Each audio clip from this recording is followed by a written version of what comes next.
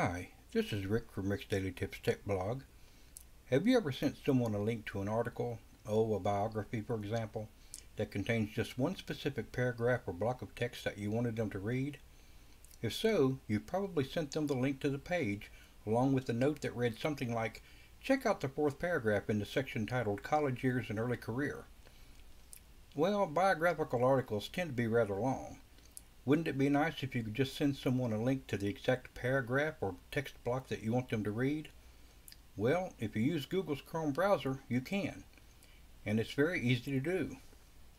Just open the relevant page in Chrome and find the paragraph or text block you want to link to.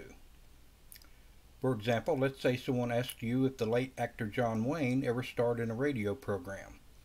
So you pull up John Wayne's biography on Wikipedia and search the article for any references to radio programs that they might have starred in. And I have it right here. As you can see, that's a pretty long article. If you just send them the link and tell them where to look, it might take them a while to find it.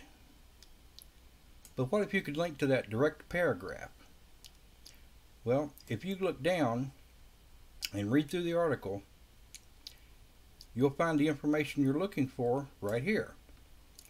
Like most Hollywood era stars, like most Hollywood stars of his era, Wayne appeared as a guest on radio programs such as the Hedda Hopper Show and the Louella Parsons Show. And it goes on to, to talk a little bit more about that. What you can do, you can highlight this section just like you were going to copy it right click, but instead of clicking copy, click copy link to highlight. Now you just created a link to this very specific section, the highlighted section of this article. If you open a new browser tab and paste that link into the address bar, it opens up that article with that with what you just highlighted already highlighted for the recipient.